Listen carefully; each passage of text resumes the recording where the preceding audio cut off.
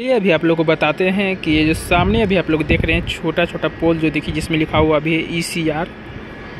तो इसके आगे देखिए, इसके आगे भी लगा होगा। एक, दो, तीन, चार तो मतलब सारे प्लेटफॉर्म पे लगा रहता है।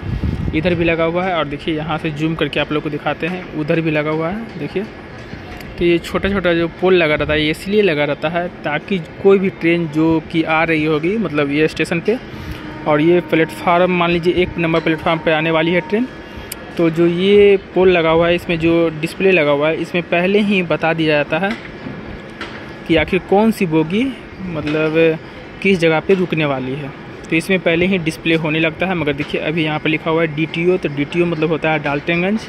और ई सी मतलब होता है ईस्ट सेंट्रल रेलवे तो उसी प्रकार जो ही बोगी, मान लीजिए यहाँ पर रुकने वाली, जैसे एस वन रुकने वाली हो तो एस वन लिखा जाएगा एस टू रुकने वाली तो एस टू लिखा जाएगा। मान लीजिए एसी बोगी अगर यहाँ पर रुकने वाली हो तो बी वन बी टू ऐसे ही डिस्प्ले करेगा इसमें, ताकि जो यात्री लोग हैं, जिनको सुविधा हो, मान लीजिए ट्रेन पाँच ही मिनट रुकने वाली है, और देखा जाए तो ऐसे पाँच मिनट काफ़ी कम समय होता है, और यात्री लोग को चढ़ने में काफ़ी मुश्किल होगा तो ऐसे पहले ही मतलब यहाँ पर इंडिकेट कर दिया जाता है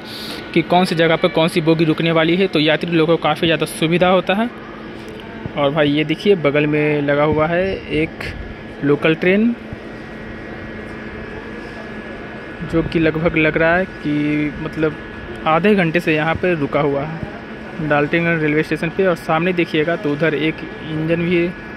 सिंगल इंजन है, नहीं, सिंगल नहीं, एक वहाँ पर डबल इंजन है और उसके जस्ट सामने भी एक मालगाड़ी रुका हुआ है। वो जो सामने अभी आप लोग मालगाड़ी देख रहे हैं, उसमें खाने पीने का सामान आता है, जैसे गेहूँ, चावल, आटा वगैरह और वो जो प्लेटफार्म नंबर चार है, उस पर लोड होता है। तो अभी तो उसको खाली किया जा रहा है, देख रहे हैं उसमें। तो उसमें जितना भी सामान लाया गया है, यहाँ पे खाली होता है और ट्रक के द्वारा जहाँ जहाँ जाना हो, उसको ले जाया जाता है। तो आई होप हमारा वीडियो आप लोग को देखने में अच्छा लगा। अगर अच्छा लगा तो प्लीज़ हमारे चैनल को सब्सक्राइब कीजिए, वीडियो को लाइक कीजिए और ऐसे ही भरपूर प्यार देते रहिए और देखते रहिए भाई का चैनल इन द वर्ल्ड